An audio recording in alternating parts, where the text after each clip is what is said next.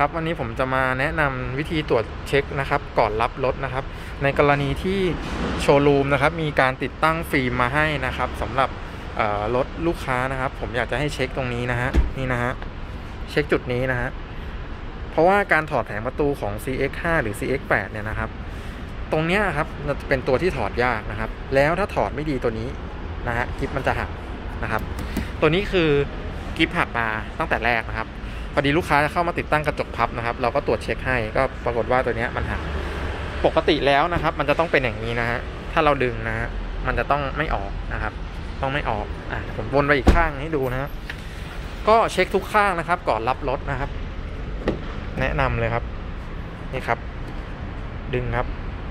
จะมีจุดนี้จุดเดียวครับ จุดอื่นจะเป็นพุกหมดนะครับ จุดนี้จุดเดียวที่เราควรจะดึง ถ้าเราดึงออกมาได้ แสดงว่า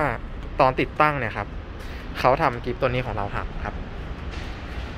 ควรดึงทุกครั้งนะครับ ก่อนรับรถนะฮะก็ฝากไว้นะครับสำหรับใครที่กำลังจะรับรถใหม่นะครับ แล้วก็มีการติดตั้งฟิล์มโดยศูนย์นะครับ หรือว่าที่อื่นก็แล้วแต่ครับ ไม่จำเป็นต้องเป็นที่ศูนย์นะครับ ที่อื่นก็แล้วแต่ก่อนรับรถเราก็เช็ค เพราะว่าปกติพวกเนี้ย